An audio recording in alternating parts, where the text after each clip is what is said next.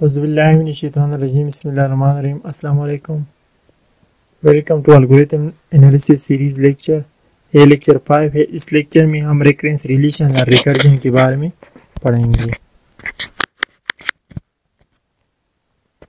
Recurrence relation से क्या मुराद है?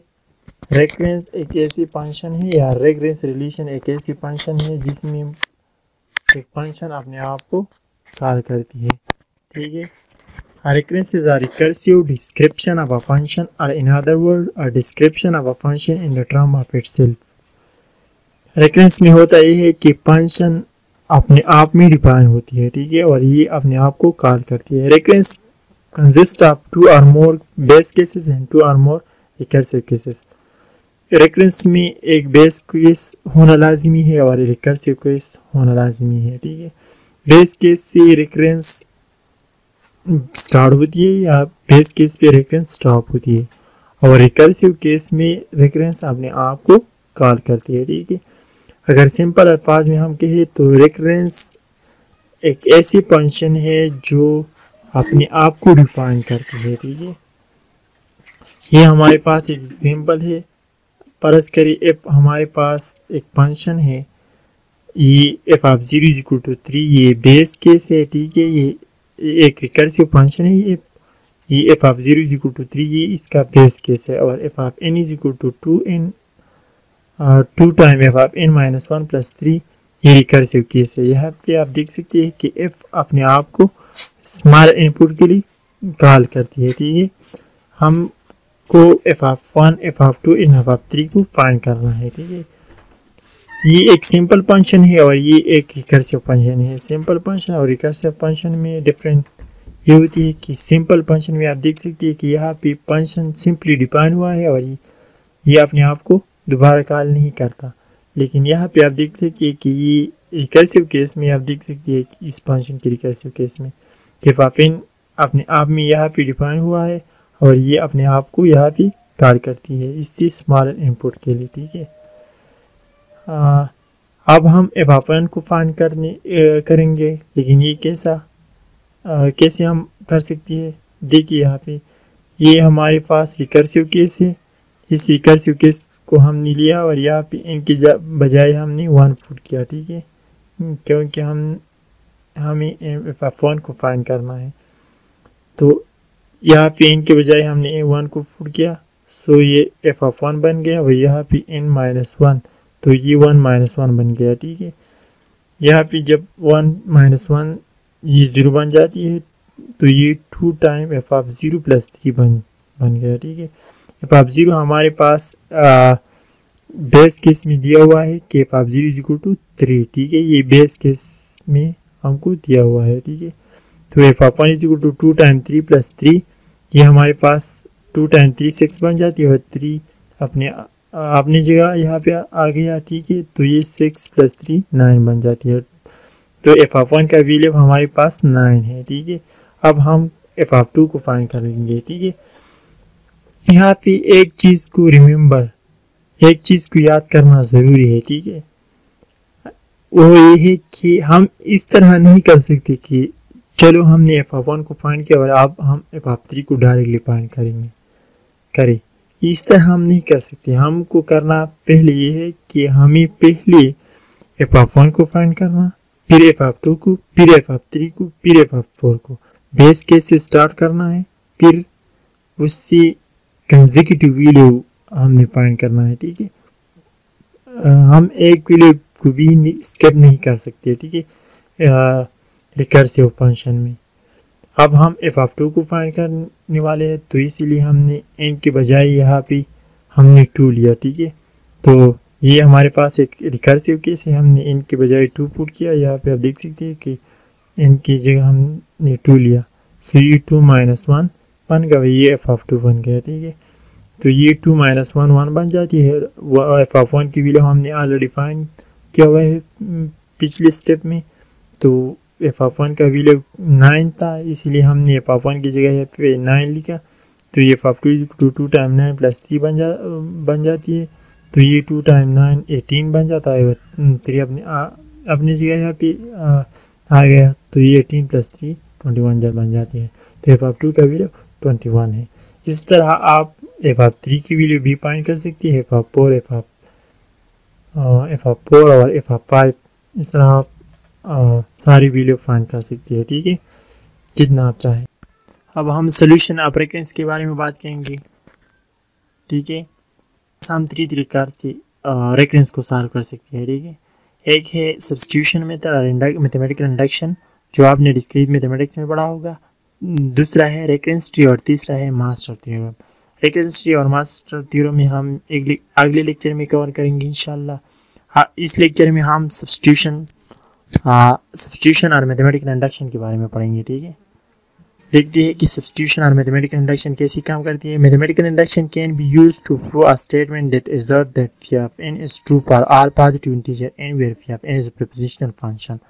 Mathematical induction में हम क्या करती है कि पी ऑफ़ एन को हम में प्रूव प्रूव करती है, ठीक है? आल पॉजिटिव इंटीजर के लिए कि ये P of N all positive integer के लिए ट्रू है कि नहीं पी ऑफ़ एन हमारे पास एक प्रपोजिशनल फ़ंक्शन है। प्रपोजिशनल फ़ंक्शन वो फ़ंक्शन है जिसके वैल्यू सिर्फ़ और सिर्फ़ ट्रू और पास होती है, ठीक है?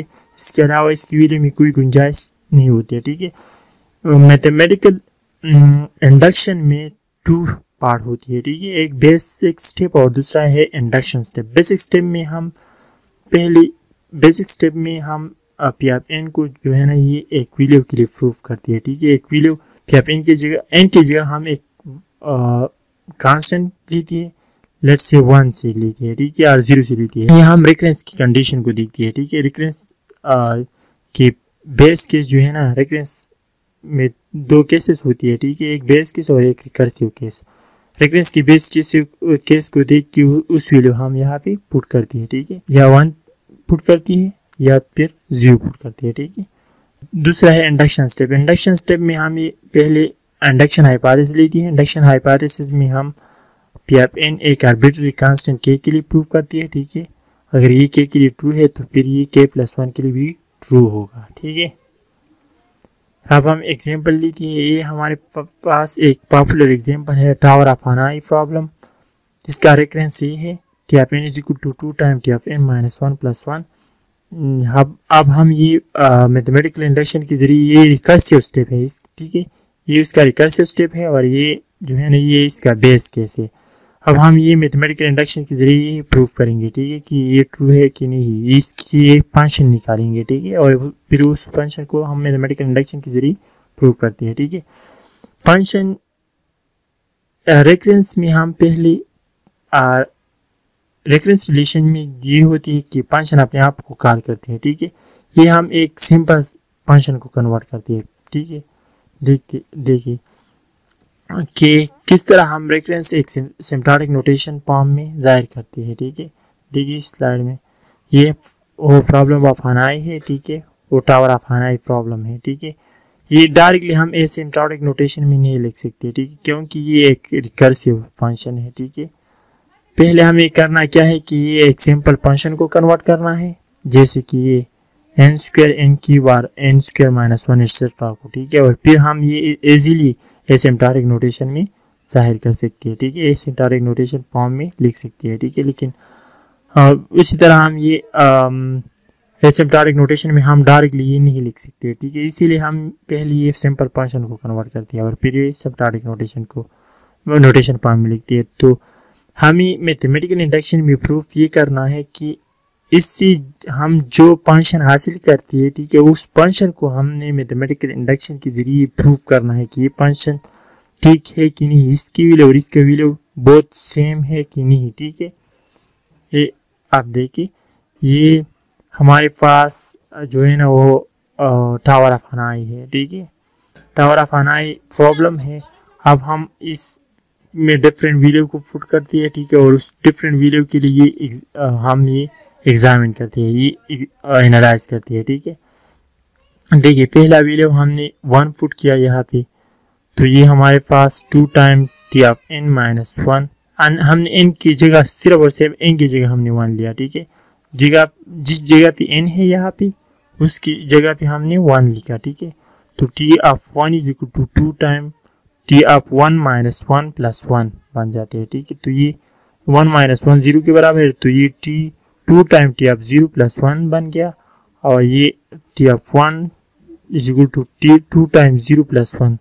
यह आ गया और ये टू टाइम ज़ीरो ज़ीरो के बराबर है प्लस वन तो ये पे two of T of one जो है ना, ये वन के बराबर है। ठीक है, इसी तरह हम टी ऑफ़ टू को भी प्रूव कर सकते हैं। टी ऑफ़ टू का वैल्यू जो हमारे पास थ्री है, इसी तरह ठीक उसी तरह हमारे पास टी ऑफ़ थ्री का वैल्यू जो है ना, ये सेवन है। इसी तरह टी ऑफ़ फोर का वैल्यू फिफ्टीन है ठीक उसी तरह ये टी ऑफ़ फाइव का वैल्यू थर्टी वन है और टी ऑफ़ सिक्स का वैल्यू सिक्सटी थ्री है। यहाँ पे आप देख सकते हैं, हमने वन से लेके सिक्स तक वैल्यू को हमने ये problem tower of Hanoi problem में पुट किया, ठीक है? अब हम ये वैल्यू में इस वैल्यू से वैल्यू से हमने पैटर्न निकालना है, ठीक है? और उस पैटर्न को हम एनालाइज करेंगे। उस पैटर्न अगर हम उसमें पैटर्न समझ समझी तो फिर हम एक फ़ंक्शन निकालना बहुत आसान है ठीक है? फिर उसी एक फ़ंक्शन निकालना बहुत आसान है उसको फ़ंक्शन को कन्वर्ट करना बहुत ईजी है लेकिन पहले हम कर, हमको करना क्या है कि इसमें उसमें से पैटर्न निकालना है ठीक है? इस पैटर्न को आप देखिए one three seven fifteen thirty one sixty three है। अगर ये आप एनालाइज करें तो ये two to the power N के करीब है, ठीक है? लेकिन exactly two to power N नहीं है। क्योंकि अगर हम एन ये एन की जगह हम ये पीले फुट करें ज़ीरो से लेके ऊपर वैल्यू ठीक है? ज़ीरो से ऊपर वैल्यू हम पुट करें तो ये अगर एन यहाँ पे ज़ीरो आ जाती है तो ये two to the power zero one बन जाता है। अगर यहाँ पे एन वन है तो ये टू बन जाता है। अगर एन थ्री है तो ये एट बन जाता है। अगर एन फोर है तो ये सिक्सटीन बन जाता है ठीक है? इसी तरह अगर हम ये आ, इस फ़ंक्शन को देखें कि two to the power N minus one तो ये आई थिंक कि ठीक है लेट एग्जामिन कि ठीक है कि नहीं है ठीक है? Two two to the power अगर हम इनकी बजाय वन पुट करें तो ये टू बन जाते हैं टू माइनस वन वन बन जाता है ठीक है? फिर अगर हम एन के बजाय टू पुट करें तो ये two to the power two four बन जाती है फोर माइनस वन थ्री है, ठीक है? अगर हम एन के बजाय थ्री तो two to the power three eight बन जाती है एट माइनस वन सेवन ये ये वैल्यू जनरेट करती है, ठीक है? इसीलिए ये ट्रू है हमारे पास, ठीक है? इसलिए हम ये कह सकते हैं कि टी ऑफ़ वन हमने टी आप वन की जगह हमने रिकर्सिव फ़ंक्शन के बजाय हमने एक सिंपल सा फ़ंक्शन लिया, ठीक है? हमने एक सिंपल सा फ़ंक्शन में ये कन्वर्ट किया। अब हम ये प्रूव करना है मैथमेटिकल इंडक्शन के ज़रिए कि ये ट्रू है कि नहीं, ठीक है? Let's prove it with mathematical induction so sorry पहले हमें आ, ये टावर ऑफ़ हनाई प्रॉब्लम ने हम में हमें प्रॉब्लम में हमने देखा कि इसका बेस केस जो है ना ये ज़ीरो के बराबर है। ठीक है हम ज़ीरो से स्टार्ट करते हैं। ठीक है T of zero is equal to two time zero minus one तो इसीलिए हमने इसका यहाँ पे मैथमेटिकल इंडक्शन में बेस केस ज़ीरो से शुरू किया, ठीक है? तो T of zero is to two time zero two to the power zero minus one ये बेस केस है मैथमेटिकल इंडक्शन की two to the power zero one के बराबर है। अगर एक्सपोनेंट ज़ीरो हो तो बेस कोई भी हो तो इसका वैल्यू वन होती है हमेशा, ठीक है? अगर आपको अलजबरा याद हो तो फिर ये इसका समझना बहुत ईजी है, ठीक है? तो two to power zero two two to power zero minus one तो ये one minus one is equal to zero बन जाते हैं। Two to T of zero is equal to zero तो ये ट्रू है क्योंकि That is true because the base case of Hanai tower problem is also zero.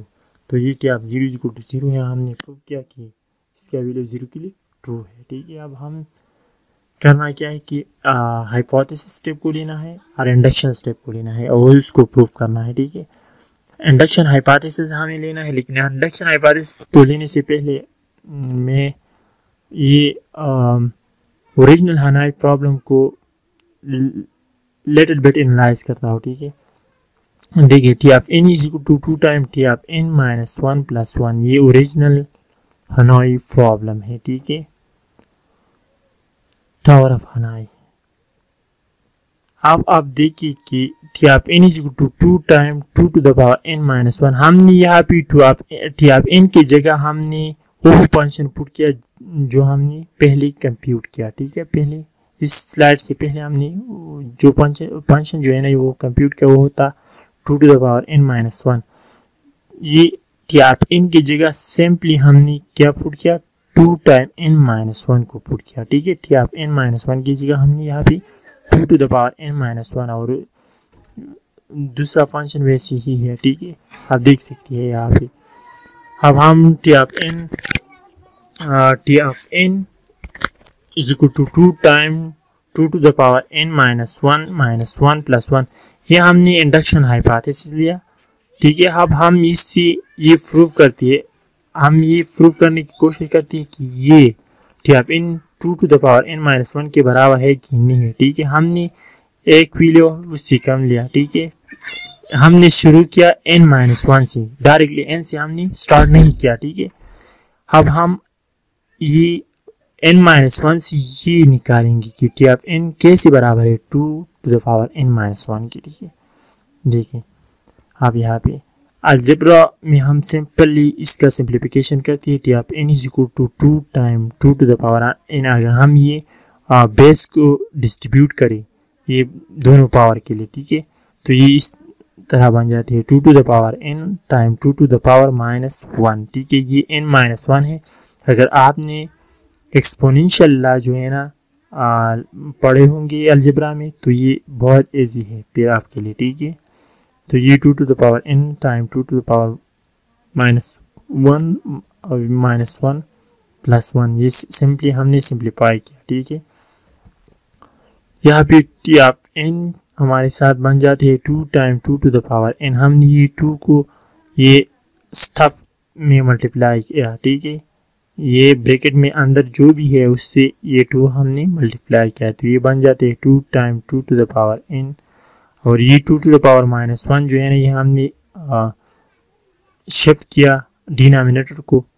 इसीलिए कि इसका पावर यहाँ पे माइनस वन है। अगर ये हम ये डिनामिनेटर को शिफ्ट करें तो इसका पावर प्लस वन बन जाती है। तो हमने ये डिनोमिनेटर को यहाँ पे शिफ्ट किया, ठीक है? तो ये हमारे पास आ गया कि two time two to the power N divided by two ठीक है? और ये माइनस हमने ये माइनस वन को ये टू भी मल्टीप्लाई किया क्योंकि ये दोनों ब्रैकेट में अंदर है, ठीक है? ब्रैकेट में जो भी अंदर होगा तो ये टू सारी वीडियो को मल्टीप्लाई करेगा। टू हमने यहाँ पे भी मल्टीप्लाई किया और यहाँ पे भी मल्टीप्लाई किया। तो टू टाइम माइनस वन जो है ना, ये माइनस टू बन जाता है और प्लस वन अपने नीचे आ गया है यहाँ पे, ठीक है? अगर हम मज़ीद सिंप्लीफाई करें तो ये टू इस टू सी कैंसिल हो हो जाती है, ठीक है? तो टू टू सी कैंसिल हुआ। यहाँ पे सिंपली हमारे पास two to the power N रह जाती है और ये minus two plus one minus one के बराबर है। तो हमने ये इंडक्शन हाइपाथेसिस हमने लिया। ये हमारे साथ इंडक्शन हाइपाथेसिस है जो हमने लिया और हमने इंडक्शन हाइपाथेसिस से ओरिजिनल हमारे जो मकसद था, जो जो फ़ंक्शन हमारे मकसद था, वो हमने निकाला। ठीक है, कि T of N is equal to two to the power N minus one हमने कंप्यूट किया। तो ये हमारे साथ प्रूफ है, ठीक है। Thank you for watching see you next time